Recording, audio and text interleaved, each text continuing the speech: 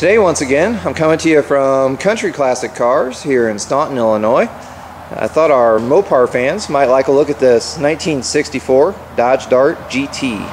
And this one is the convertible version, obviously. And it's a pretty neat looking little car. Uh, it's kind of an amateur restoration. You know, it's got some fresh paint on there, but it, it's not perfect by any means. But uh, still pretty nice little car. chrome bumper up front there. You got the Dodge lettering across the front of the grill. And it's got this cool little trim piece here on the hood.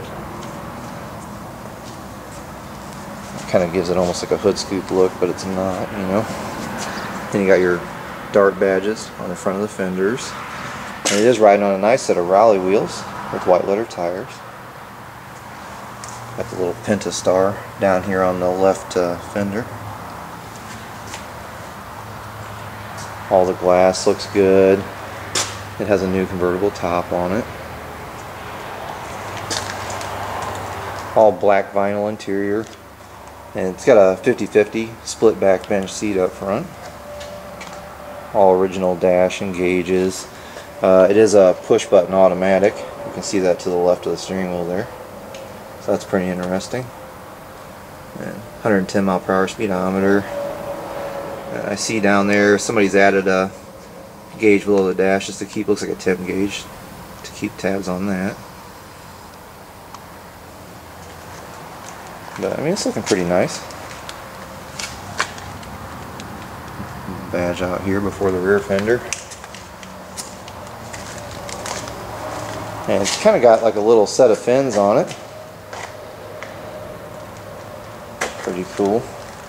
Nice big chrome bumper out back here. I don't see too many of these in the convertible. So I thought it was definitely worth taking a look at. Here, I'll go ahead and pop open the hood and we'll take a look under there. Alright, as you can see, this one's actually powered by the Slant 6. And still has the original intake and exhaust manifolds. Uh, it's got a Holley carburetor on there. I'm not sure the cubic inches on this one. If I had to guess, I'd probably say 225 cubic inch. But uh, I'll look that up so I can put it in the video for you.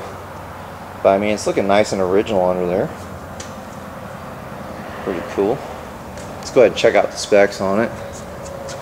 Once again, this is a 1964 Dodge Dart GT. And uh, says great driver. But anyway, guys, I just thought you'd like a look at that one. As always, we appreciate you watching and commenting and everything. And if you haven't already, please go ahead and subscribe to our channel. And we'll have many more of these videos in the future. Thanks. Bye.